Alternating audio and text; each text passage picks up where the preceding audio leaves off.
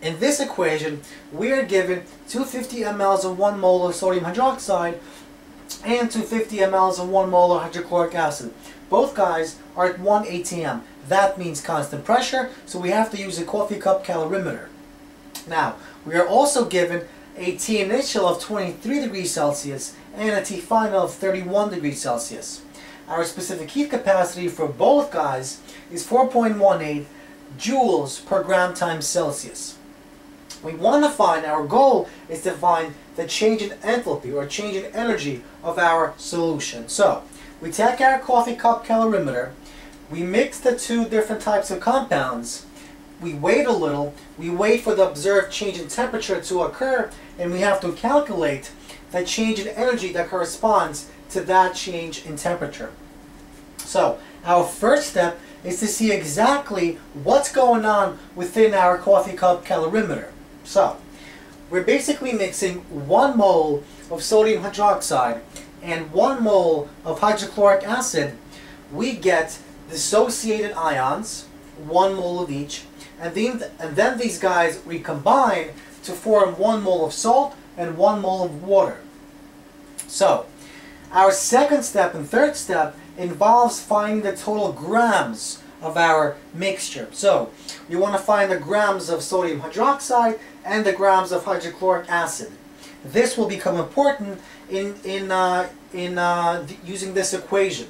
So, this M corresponds to the total mass. That's why we need to find the total mass. So, first, before we find the grams of uh, sodium hydroxide, we have to find the moles of sodium hydroxide. To find the moles, we have to take our 1 molar solution of sodium hydroxide, we multiply that by our volume in liters.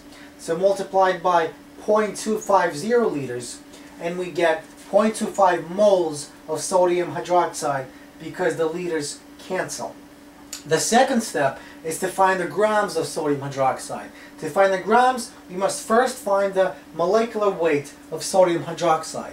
To find the molecular weight, we simply add up the atomic weights of each atom. So, 23 moles per gram or grams per mole for sodium plus 16 grams per mole for oxygen plus 1 gram per mole for H and we get 40 grams per mole times the number of moles moles cancel and we get 10 grams of sodium hydroxide mixed into our solution.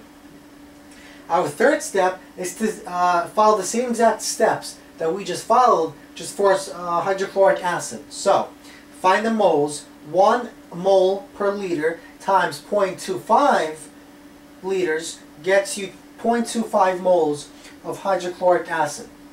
Now the same step. We have to find the molecular weight of hydrochloric acid, multiply that by our moles, and we get grams. So, 1 gram per mole for H plus 35.5 gram per mole for chlorine, and we get 36.5 gram per mole times 0.25 moles. Moles cancel, and we get 9.13 grams of hydrochloric acid. Finally, we use our formula to find the uh, energy change, and we get the total mass, 10 plus 9.13, so 19.13 grams, times 4.18 joules per Celsius times gram, um, which we get from here, and our T final minus T initial. So, 31 minus 23, and we get 640 joules.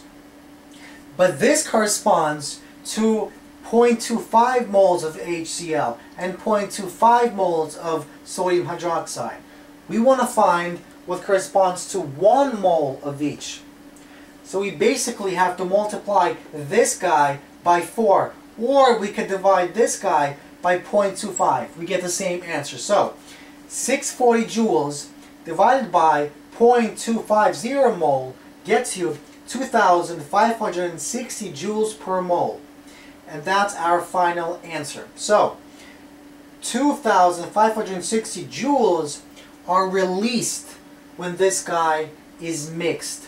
So, that's why our water inside is heated to this temperature because this amount of energy is released into our solution, to our water, into the system, and that heats our solution.